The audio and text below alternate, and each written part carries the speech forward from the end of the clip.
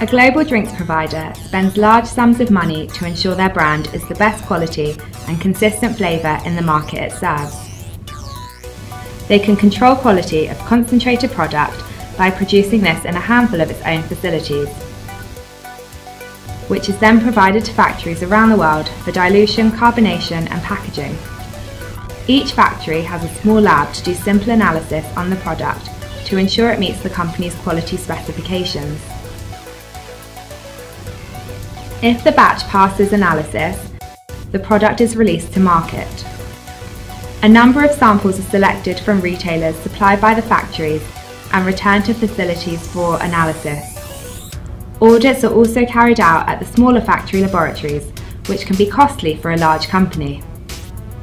If a non-conforming product was discovered in the retail samples, further expense on audits and training at the factories would be required as some of the original lab tests at the factories may be proven incorrect.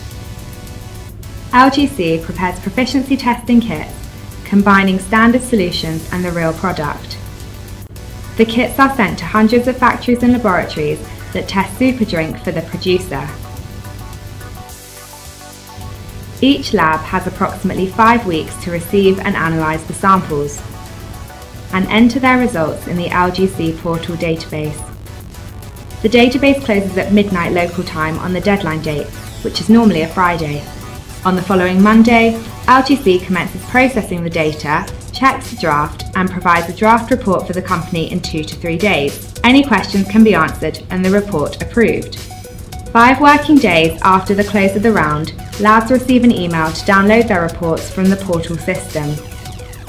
For major key accounts, LGC produce a data file which can be fed directly into the company's own KPI system. This provides a simple trend which will show the lab as either conforming to the quality standards or not, and highlighting possible analytical problems. Audits and support can then be targeted where it is needed. What is considered acceptable in terms of results depends on the sample and analyte in question.